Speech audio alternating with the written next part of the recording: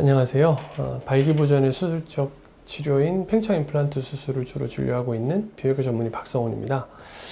오늘은 팽창 임플란트 이야기 말고 다른 이야기를 좀 하려고 해요. 진료를 어떻게 바라봐야 되느냐 그거를 좀 얘기해 보고자 합니다. 저는 개인 병원 의사거든요. 처음에 스스로 많이 고민했던 게 병원 운영을 어떻게 해야 되냐 진료를 보는 목적이 뭐야 되느냐 그거에 대해서 고민을 되게 많이 했었어요. 한 이제 한 10년 정도 지나고 나니까 의사란 직업은 특히 저처럼 수술하는 직업을 보니까 그거에 대해서 크게 고민 안 해도 되더라고요. 왜 크게 고민 안 해도 되느냐? 환자의 이익을 최우선하면 돼요. 병원을 운영하는 것 자체는 비즈니스로 보면 굉장히 독특한 특성이 있는 것 같아요, 저는. 이게 항상 적용되는 건 아니긴 하지만 어떤 특성이 있느냐? 흔히 얘기하는 기본적인 원칙을 잘 지키는 것이 비즈니스가 살아남을 수 있고 혹은 살아남는 걸 넘어서서 잘 될 수 있는 기본인 것 같아요. 병원에 가서 진료를 보는 거는 생각해 보면은 환자하고 의사하고 계약 관계거든요. 일시적으로 계약 관계가 생기는 거예요. 환자는 돈을 내는 거고 의사는 대가를 이제 우리가 주는 거죠. 그러니까 제대로 진료를 하는 거잖아요.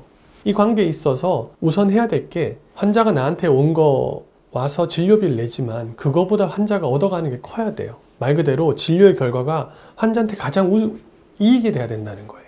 그렇기 때문에 필요 없는 검사하지 않고 필요한 치료를 이야기하고 해야 될 거 하고 아이러니하게도 그런 걸 제대로 지키는 게 병원이 흔히 얘기하는 장사가 잘 될 수 있는 이유구나. 저는 처음에 그렇게 생각하지 않았어요. 이게 무슨 순진한 생각인가? 저 역시도 그렇게 생각했거든요. 근데 어, 아니더라고요. 이거는 제가 어디서 가서 배웠느냐? 미국에서 진료하는 걸 많이 보러 다녔잖아요, 제가. 거기서 제일 많이 배웠어요. 진료 보는 걸 옆에서 같이 들여다보잖아요. 그럼 환자한테 절대 필요 없는 수술을 얘기하지 않습니다. 팽창 임플란트 수술 같은 경우에 가장 많이 하는 사람들을 제가 보고 다녔거든요. 그분들한테 배웠던 첫 번째 원칙이 환자한테 절대 수술을 팔지 말라였어요. 환자한테 수술을 팔지 말라는 격언이 저는 가장 와닿았어요. 근데 그럼에도 불구하고 그분들이 수술을 제일 많이 하시더라고요. 그러니까 환자가 내 마음을 알아줄까, 내 진심을 알아줄까, 그 고민할 필요가 없는 거예요. 그냥 진심을 다해서 진료하면 되더라고요. 그러면 언젠가 시간이 지나면 점점점 알게 되더라고요. 그러니까 기본적으로 이분들이 전부 다 소위 말하는 계산을 못하는 사람들이 아니에요. 자신의 이익을 위해서 어떻게 보면 진료를 하는 건데 자신의 이익을 위해서면 환자를 더 위해야 되는 거예요.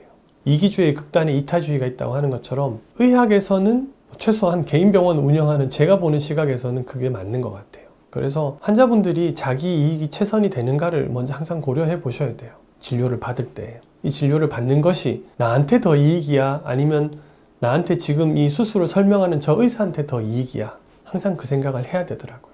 특히 수술이 그래요. 다른 진료들은 우리나라 보험이 되는 진료들은 뭐 크게 비용, 비용 부담이 없잖아요. 근데 수술의 경우에는 그렇지 않으니까. 그래서 이 얘기를 항상 하고 싶었어요. 저희는 아마 아시아에서 미국 밖에서는 가장 유명한 병원 중에 하나일 거예요. 팽창 임플란트 수술로. 수술 케이스라던가 결과라던가 그런 면에서. 근데 그게 저 혼자 잘나서 된 거다? 그렇게 생각하지만은 않아요. 그렇게 되기까지에는 제가 볼 때는 저희 선생님들이 가르쳐 주신 부분이 제일 큰 것 같아요. 수술 술기만이 아니라 환자한테 어떻게 진료를 해야 되는가 그걸 배운 게 저는 더 컸다고 봐요.